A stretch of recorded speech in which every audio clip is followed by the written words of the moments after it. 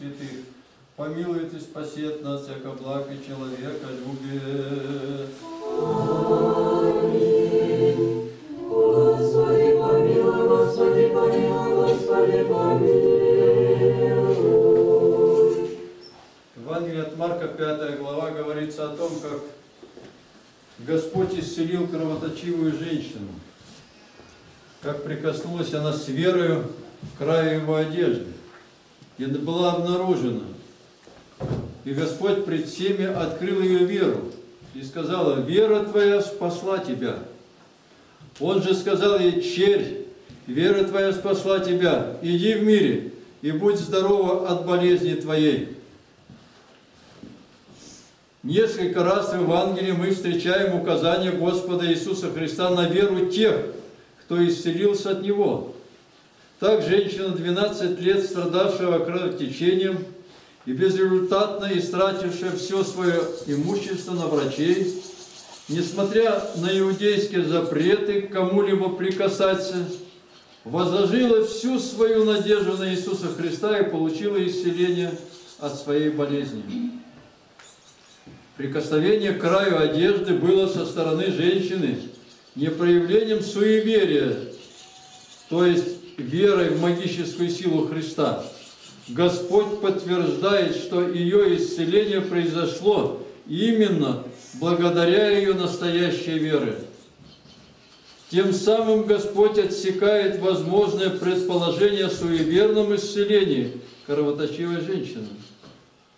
Спасение веры в данном случае имеет смысл не только исцеления женщины от болезни, но также духовного спасения, приобщения к вечной жизни через ее веру в Иисуса Христа.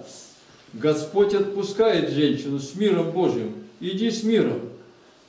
Призыв идти с миром означает, что женщина может быть свободна от своего прошлого и смело вступить в новое будущее без своей болезни.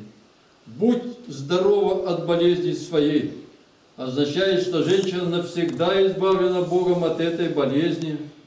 Последовало ли исцеление женщины за Иисусом? Последовала ли исцеленная женщина за Иисусом? Евангелие нам об этом не сообщает.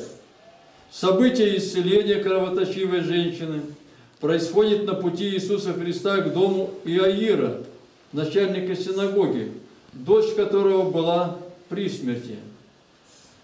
Исцеление женщины могло укрепить доверие Иаира к Иисусу Христу. Он был свидетелем исцеления через веру. Когда пришла весть из дома Иаира, что его дочь умерла, Господь ободряет его призывом не бояться, но веровать. В евангельском эпизоде об исцелении слепого Вартимея Господь также указывает на его веру, которая позволила Богу совершить исцеление. Иисус сказал ему, иди, вера твоя спасла тебя. И он тотчас прозрел и пошел за Иисусом по дороге.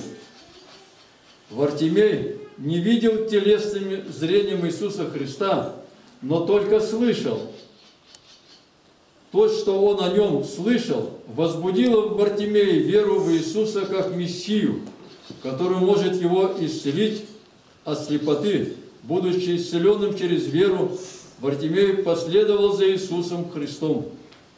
Указание на веру исцеленных встречается также и в рассказах об исцелении десяти прокаженных, Евангелие от Луки, 17 глава, о помазании Иисуса грешницы, 17 глава от Луки. Из десяти прокаженных только один самарянин уверовал в Иисуса Христа, поэтому пришел воздать ему благодарение. Грешная женщина уверовала в Иисуса Христа и проявила свою веру в помазании маслом и покаянных слезах. Ее веру Господь приводит в пример жестокосердному фарисею Симону, который укорил Иисуса за принятие грешницы. Если бы он был пророк, то знал бы, кто и какая женщина прикасается к нему, ибо она грешница. Евангелие от Луки, 7 глава.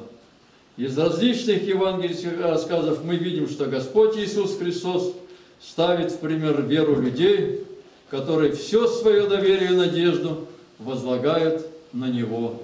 Аминь. Миром Божьим. Завтра в 8 часов молитва в храме.